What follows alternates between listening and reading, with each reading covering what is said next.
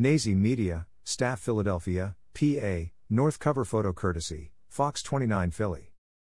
Two people were reportedly shot near Temple University's campus last night.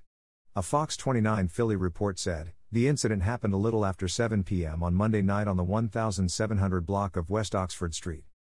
Photo courtesy, Fox 29 Philly. The crime scene reportedly spanned two blocks. Investigators said they counted close to 70 shots fired at the scene. A group of armed men reportedly opened fire on two men at the scene. A 26 year old man was reportedly shot and killed. A 23 year old man was reportedly critically injured in the shooting. Police said they have one suspect in custody. Four handguns were found at the scene. Two of the four handguns found were equipped with extended magazines. The investigation is ongoing, according to police. Nayze Media. Philadelphia, PA, North Philly cover photo courtesy. The Philadelphia Inquirer. Philadelphia police said they are searching for the gunman responsible for killing a man in North Philadelphia on Tuesday.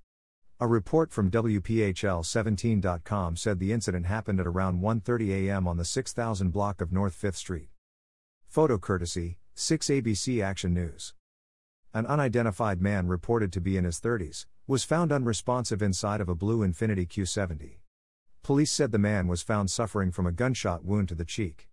He was rushed to the hospital where he was pronounced dead at 2:10 a.m. Police say a weapon was recovered at the scene, but no suspects have been named and no arrests have been made at this time.